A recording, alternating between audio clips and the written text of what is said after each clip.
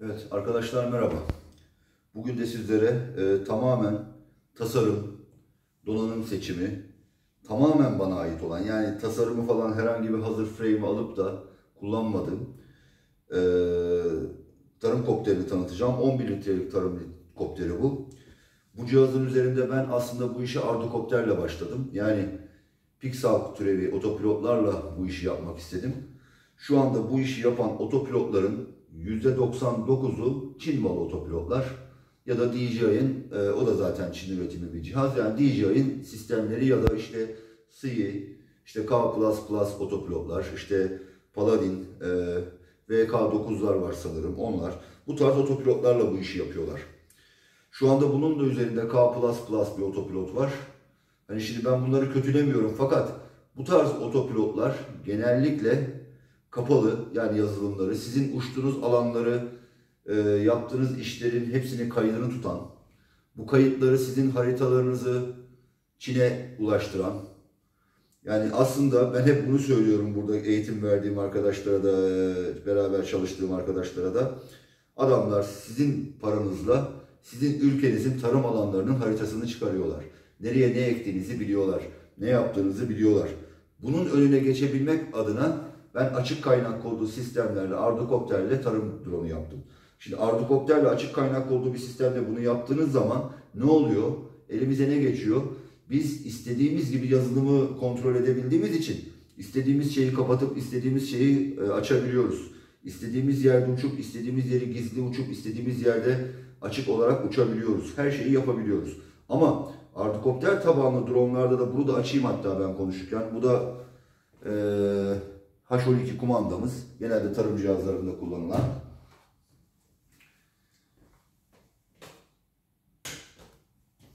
Şunu bir açayım.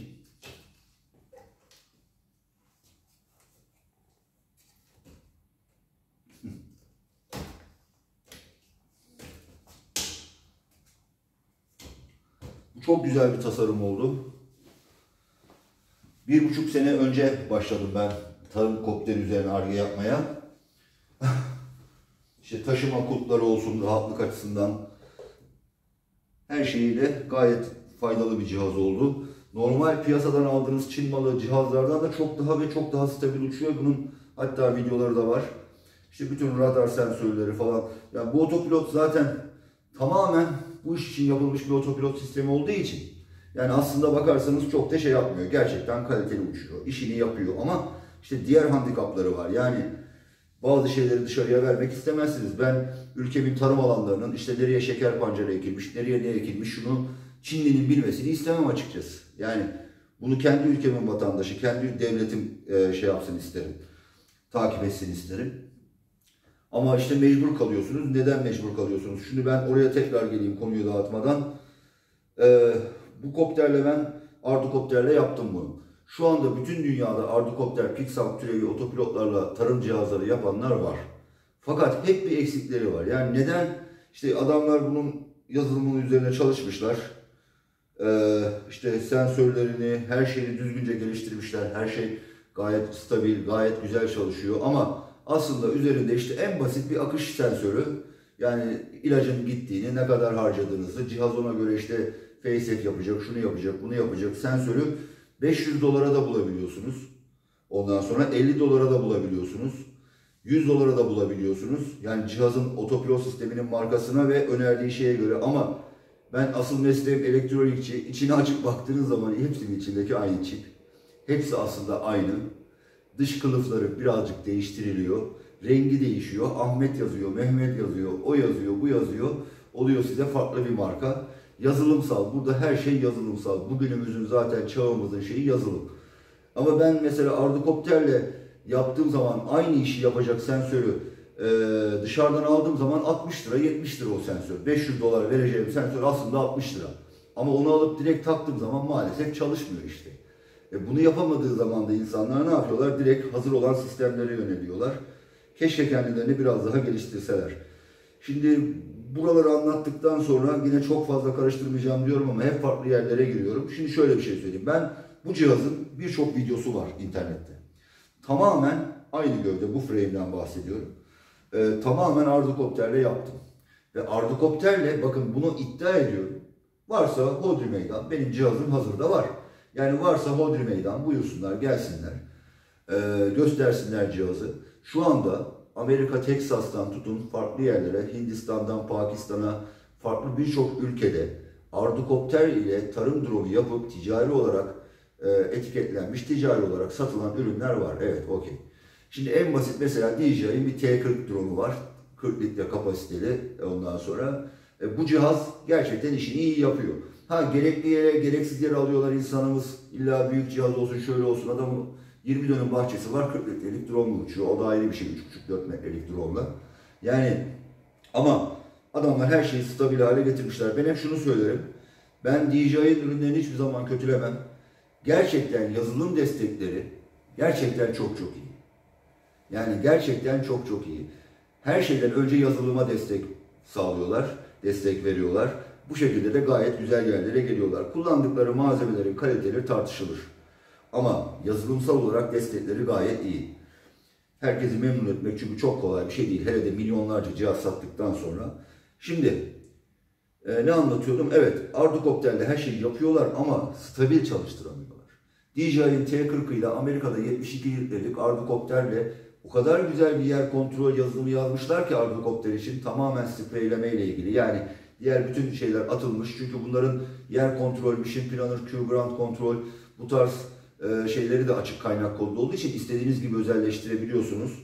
Ondan sonra e, o kadar güzel yer kontrolünü yazmışlar, her şeyini yazmışlar ama işte çok profesyonel yani 10-11 milyon takipçisi olan bir kanalın e, eleştirmeni işte YouTuber'ı bunu test ediyor.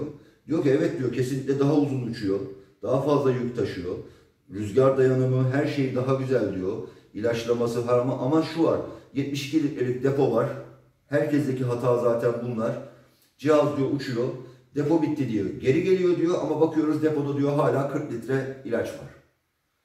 Doğru kalibre edilemiyor. Doğru çalışmıyor bu sensörler. Aslında sensörler dediğim gibi aynı. Ama onu yazılımsal olarak oraya doğru entegre edebilmek önemli olan. Veya işte ne oluyor?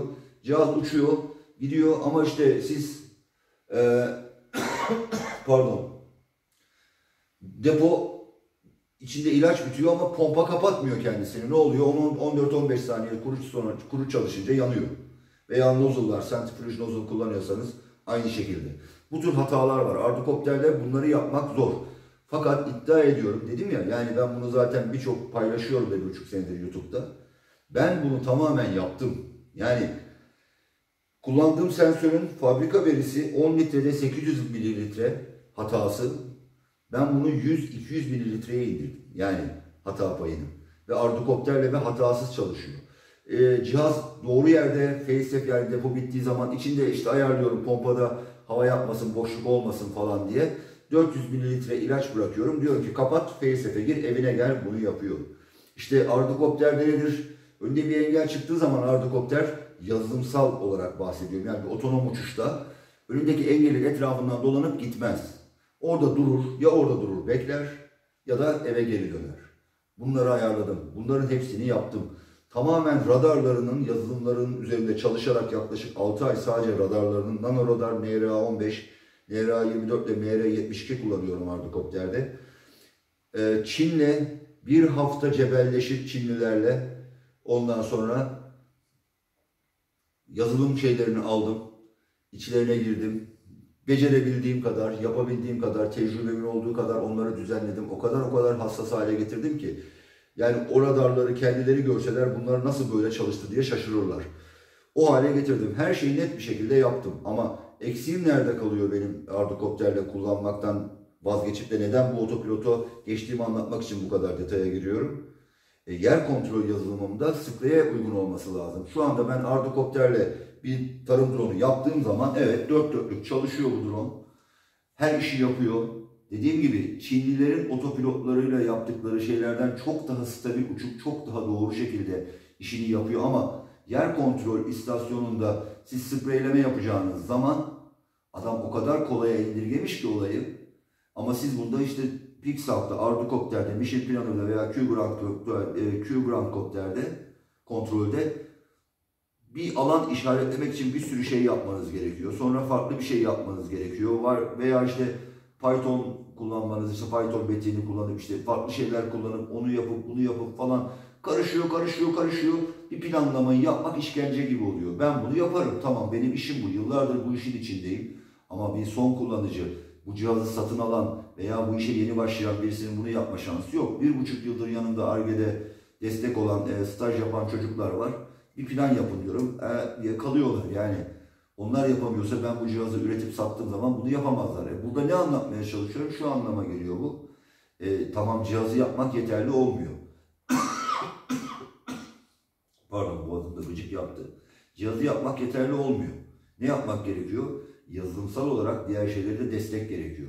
Evet ben bunları da yapabilecek beceride miyim? Evet kesinlikle bunları da yapabilecek becerideyim. Ama her şeyi tek başınıza yapamıyorsunuz. Yani bu tarz şeyler normalde hep bir ekip işidir. Yani ben burada üretiyorum, tasarlıyorum, üretiyorum. Ha bir de şunu söyleyeyim bakın ben e, 35 yıldır modelcilikten geldim bu işin içindeyim. Şu kopter tamamen el yapımıdır. Belki size şaka gibi gelir ama beni tanıyan savunma sanayide de olsun. Dışarıdaki kurumlarda, valilikler, AFAD birçok yere cihazlar sattık, üniversiteler çok iyi bilirler. Buna kesinlikle inanın.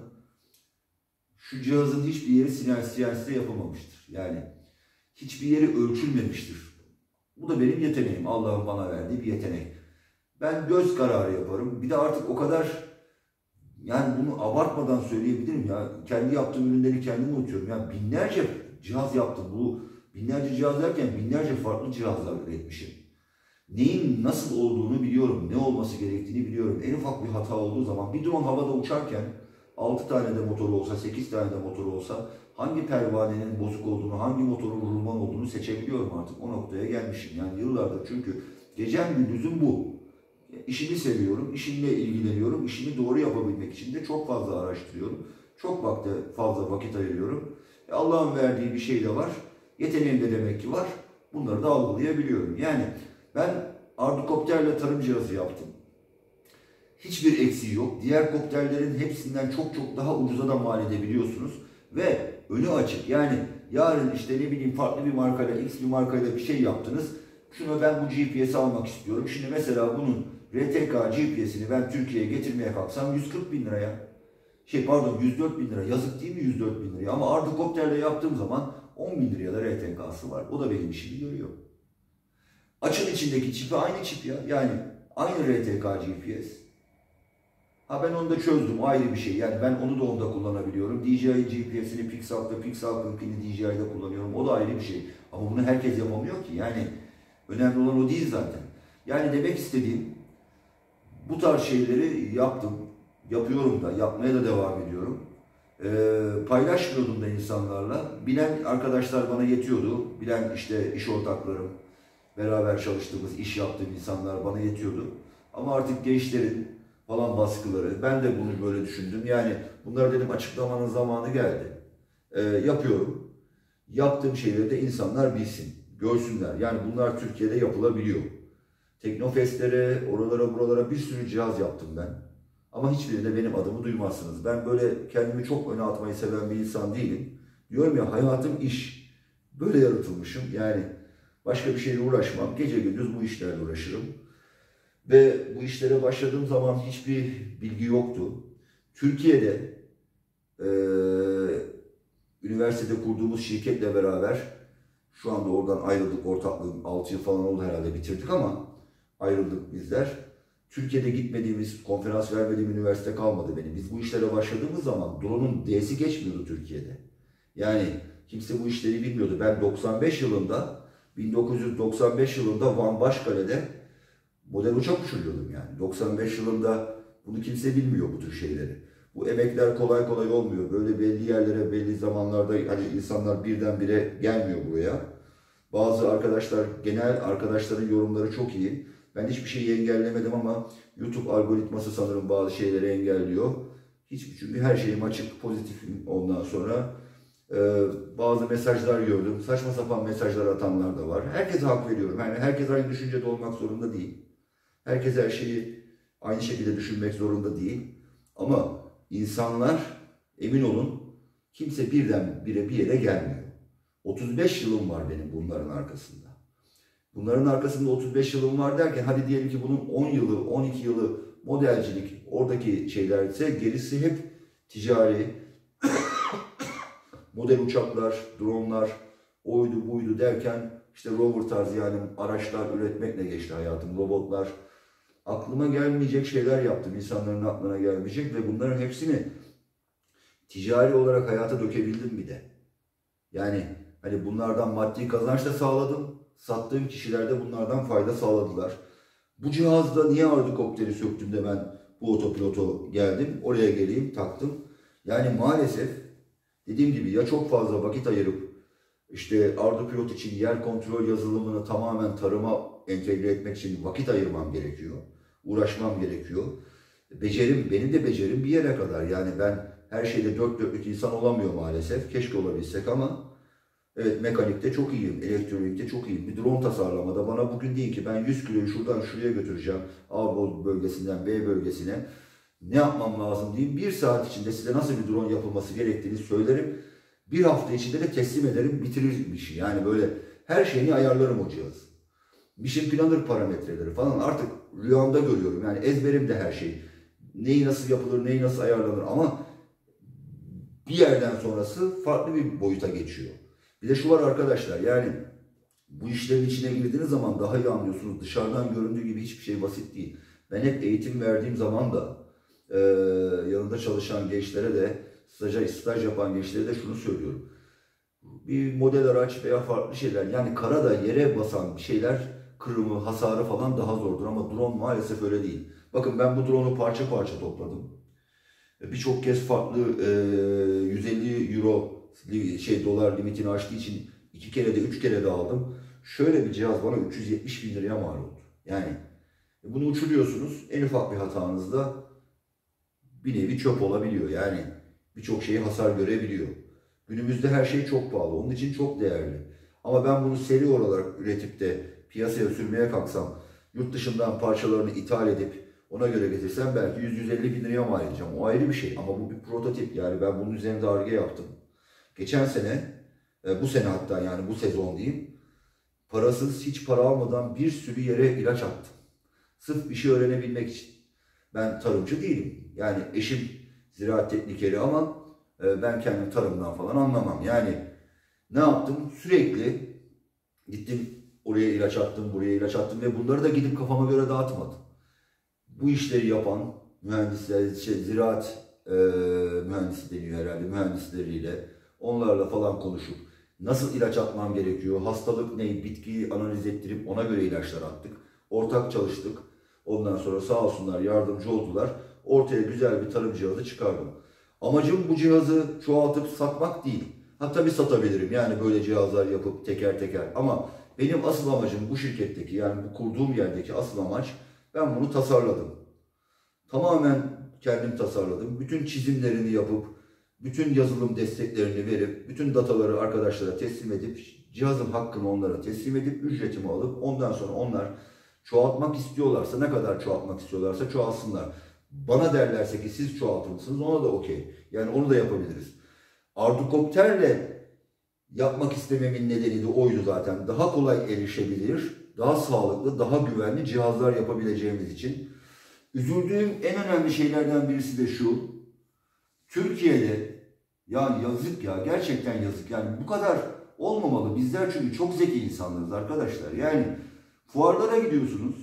İnternette görüyorum ya gülüyorum ya. Yani ben o insanlar gibi yorum yapmıyorum. Kötü bir şey söylemiyorum ama yani üzülüyorum aslında. Yerli, yüzde yüz yerli malı drone. Yerli, bakın biz savunma sanayiye yıllardır cihaz yapıyoruz. Yani 5 Excel CNC'lerimizden şeylere kadar var. Yani karbonu üretiyoruz, alüminyum parçaları kendimiz yapıyoruz. Daha hala yüzde 62 yerlilik belgesine zor ulaştık. Ha ben orada o ortamdan ayrıldım. İşte kendim farklı iş yapıyorum ama o zamandan bahsediyorum. Yani her şeyi yüzde yüz yapamazsınız. Çünkü ham maddelerini üretmedikçe, ham maddeleri madeninizden, sizin madeninizden çıkmadıkça bazı şeyleri yapamazsınız. İşte dünkü videoda anlattığım gibi ben e, evet hazır bir motor var ama motorun bakıyorum spiklerine. Evet genel yapısı benim sistemime uygun ama spikleri benim sistemime uygun değil. Bir nevi arabaya yazılım atmak gibi. E, burada bilginiz de varsa orada o devreye giriyor. O bilgi sayesinde o motoru istediğim gibi dönüştürdüğüm zaman normalde 250 uçuş, 500 uçuş yapıp e, bozulacak, verimsiz hale gelecek bir motoru 6000 uçuş yaptı diyorum hala çalışıyor. İşte burada bilgi devreye giriyor. Dediğim gibi üzüldüğüm şu, nereye gitsek yerli tarım dronu. Yerli şöyle üretiyoruz, yerli böyle üretiyoruz. Şuradan bu kadar destek alıyorlar, buradan bu kadar. Ben buradaki hiçbir şeyden destek almıyorum. Hepsi kendi sermayem, öz sermayem. Yıllarca kazandığım paralarla arge yapıyorum kendi paramla. Ondan sonra şuradan şu kadar destek alıyorlar, buradan bu kadar destek alıyorlar. Fabrikalar kuruluyor, personeller getiriliyor, mühendisler getiriliyor. Ortada hiçbir şey yok. Ha bir de şunu söyleyeyim, çok özür dilerim. Ben ilkokul mezunuyum arkadaşlar. Yani ben e, o zaman okuyamadık yani. O zaman da zaten bizim zamanımızda internet, bilgisayar hiçbir şey yoktu. 49 yaşındayım ben yani.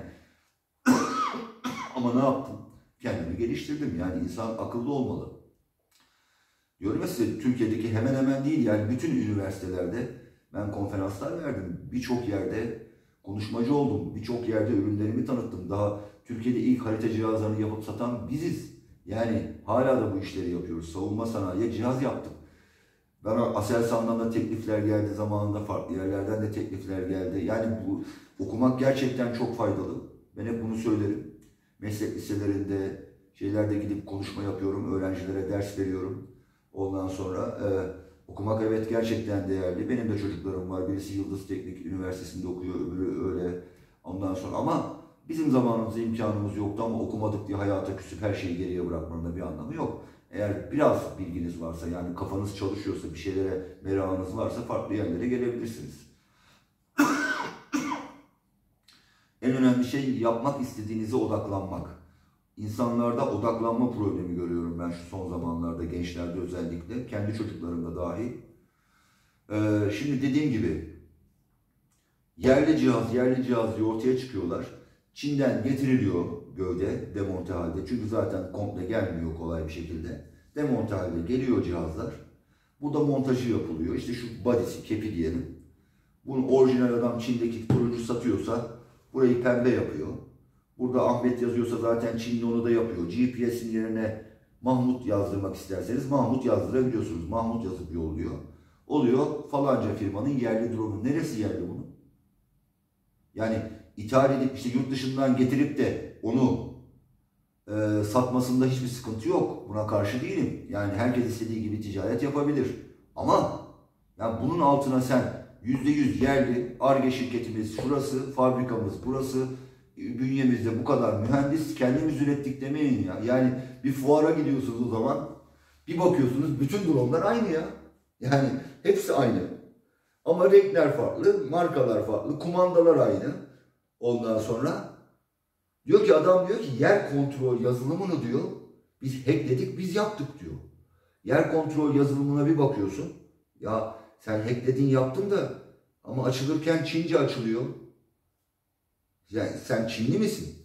İşte marka şu yazıyor, model bu yazıyor. Agriasis yazıyor orada. Yani ya bunları yapmayalım ya. Yani onlar da çünkü önemli. Bu tarz şeyler de değerli ama bizler maalesef bu şekilde yapıyoruz. Çok uzatmak istemiyorum. Tarım dronları yaptım. Kuat yaptım, egze yaptım. Şimdi bir 5 litrelik küçük alanlar için yapıyorum. Seralar ve küçük bahçeler için.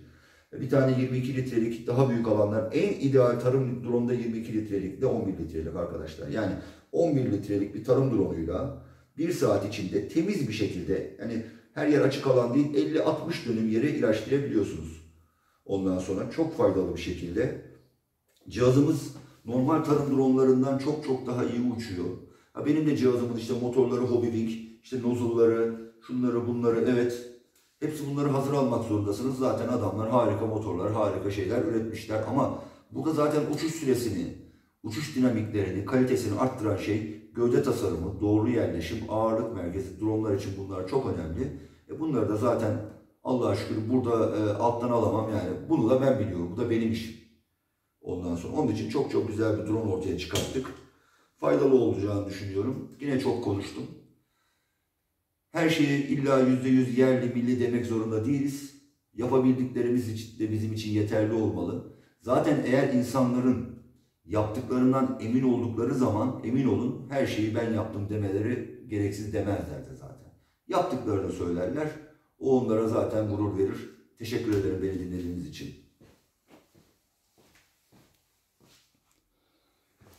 Bir de abone olursanız sevinirim.